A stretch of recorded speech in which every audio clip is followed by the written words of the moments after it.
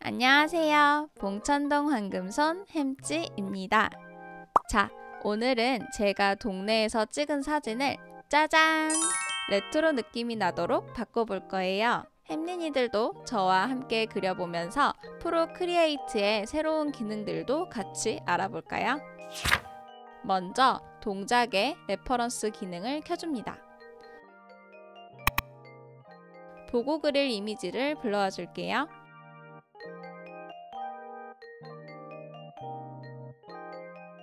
스케치는 리사 펜슬 브러쉬로 진행했습니다. 어, 햄린이들이 평소에 자주 사용하는 편한 브러쉬로 그려주세요. 아래에서 위로 바라보는 레이아웃입니다. 어느 쪽으로 기울었는지 사진을 잘 관찰하면서 그려보세요.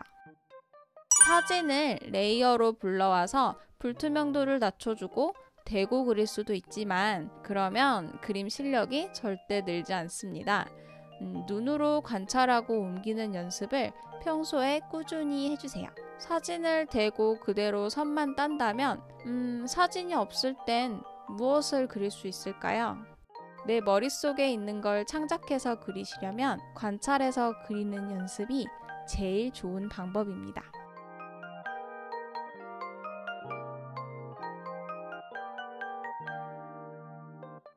획을 긋고 나서 펜을 떼지 않고 기다리고 있으면 위에 모양 편집 tool이 나타나요. 동그랗고 반듯하게 그리고 싶으시다면 모양 편집 tool을 활용해 줍니다. 뒤에 구름 배경도 넣을 거예요. 동그란 보름달도 하나 전선도 그려줍니다. 살짝만 더 디테일하게 손봐줄게요. 저는 간단하게 그리는 걸 좋아하는데 너무 간단하게 그리면 또 허전하고 없어 보이더라고요. 그래서 중간을 찾고 있어요. 어느 정도 안 그려줘도 허전해 보이지 않는 정도? 어렵네요. 이렇게 스케치를 끝내줍니다. 모든 layer를 합쳐서 스케치의 투명도를 낮춰주고 선을 따줄 건데요. monoline 브러시를 사용할 겁니다. 크기는 10% 정도로 해볼게요. 저는 손이 떨려서 선이 반듯하게 잘 그어지지 않아요 하시는 분들은 monoline 브러시 속성에서 획 경로 탭에 있는 streamline 값을 최대로 올려주세요. 어, 또는 저는 기본 monoline 브러시가 아니고 모두의 굿즈 유튜버님의 깔끔 브러시를 만들어서 사용하고 있거든요. 관심 있으신 분들은 아래 링크 걸어 드릴게요. 한번 영상 보고 만들어 보세요. 스케치 한 후에 색을 부어줄 거기 때문에 선이 딱 맞닿도록 빈 곳이 없이 채워서 그려주세요.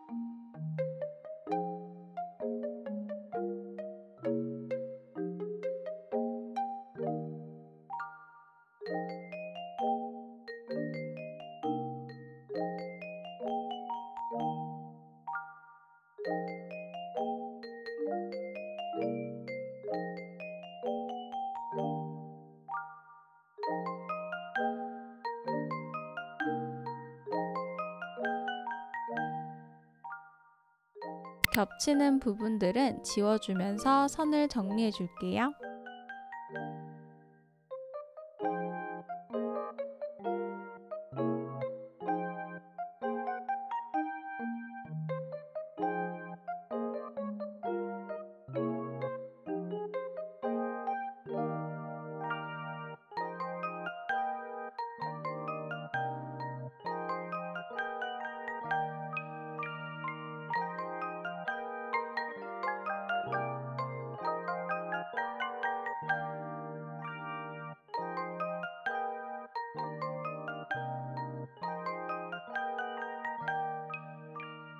자, layer도 정리 한번 해줄까요? 표지판 스케치들은 하나로 합쳐주고 달과 구름은 따로 둡니다. 이제 색을 추가할 건데 스케치 layer를 reference로 설정해 주세요. 그러면 다른 layer들이 reference layer의 영향을 받아요. 보시면 추가한 새 layer에 색을 부어 보겠습니다. reference layer를 꺼서 봐보면 딱 이 부분에만 색이 들어가죠. 이런 식으로 원하는 색을 부어줍니다. 앞에서도 말씀드렸지만 스케치 선이 딱 맞닿아 있어야 색이 깔끔하게 원하는 부분에 들어가요. 색칠 공부하듯이 진행하시면 됩니다. 제가 사용하고 있는 레트로 색감 팔레트는 저번 영상에서 활용한 방법대로 이미지에서 뽑아왔어요. 참고 이미지도 링크해 두겠습니다. 이 부분은 새로 나온 효과를 줘볼 거예요. 그래서 따로 layer를 추가해서 색을 채워줍니다. 조정에 새로 나온 하프톤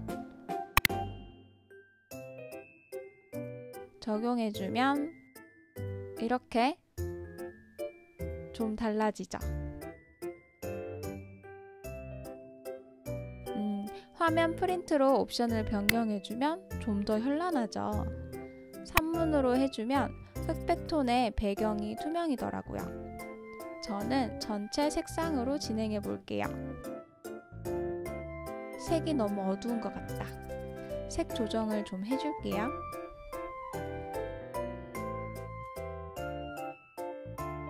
배경은 맨 아래 새 layer에 layer 채우기를 선택하면 선택된 색상으로 전체가 채워집니다. 또 새 layer를 추가한 다음 구름 스케치를 reference로 바꿔주고 핑크색으로 부어줍니다.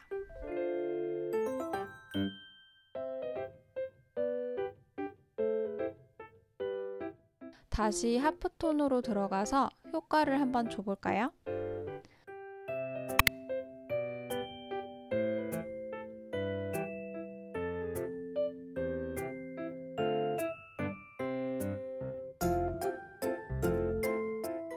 이번엔 신문으로 해볼게요. 이걸 하면 무조건 흑백으로 되더라고요. 어, 그래서 이런 식으로 효과를 준 다음에 핑크색으로 하고 싶으면 clipping mask를 위에 추가해서 핑크색으로 layer를 채워줍니다.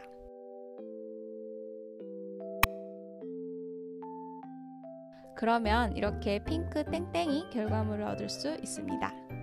달에도 reference로 설정해 준 다음에 노란색으로 달을 채워줍니다.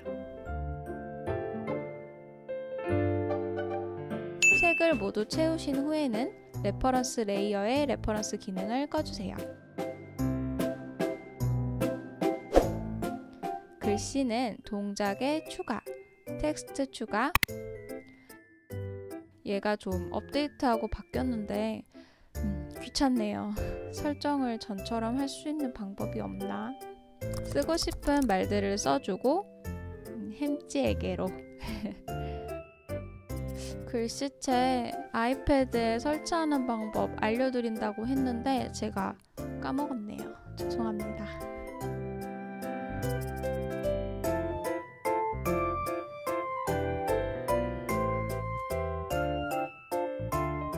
왜곡을 눌러서 각도에 잘 맞춰주시면 되겠죠? 여기도 뭐 쓰고 싶은 말들을 채워줍니다. 자, 여기서 더 retro한 느낌을 내볼 건데요.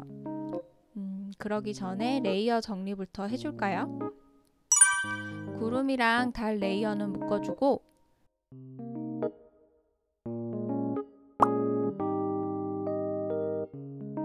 스케치랑 색, 달, 구름, 배경 이렇게 다섯 개로 정리해 주고요. 맨 위에 새 layer를 추가해 줍니다. 여기에 남색 정도로 layer를 채워주세요. 그 다음에 조정에 노이즈 효과가 보이시죠? 여기서 살짝 적용해주면 노이즈가 들어갑니다. 여러 옵션을 선택해서 원하시는 모양을 만드세요. 그리고 이 layer의 속성을 soft light 정도로 적용해 줍니다. 그러면 살짝 옛날 사진 감성이 나거든요. 화면에서 잘 보일지는 잘 모르겠는데 달빛을 좀 추가해보고 싶어졌어요.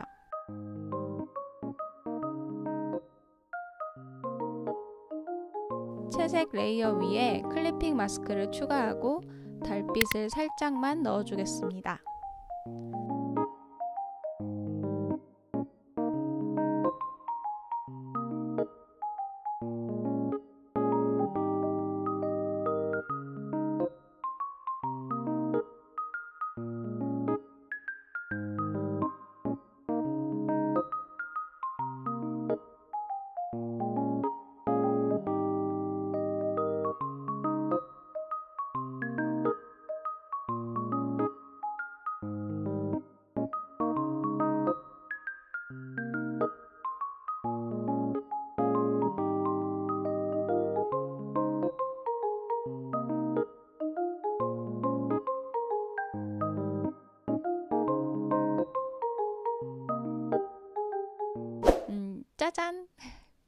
차이는 안 나네요. 그리고 나서 마지막으로 하나의 효과를 더 추가해 볼 건데요. 이 세 layer를 하나로 합쳐줍니다. 통째로 이 layer를 색수차로 들어가셔서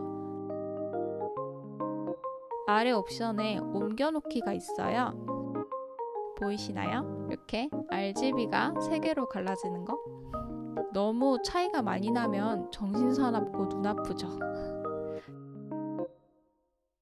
진짜 살짝만 효과를 줍니다. 그러면 옛날 느낌 나죠?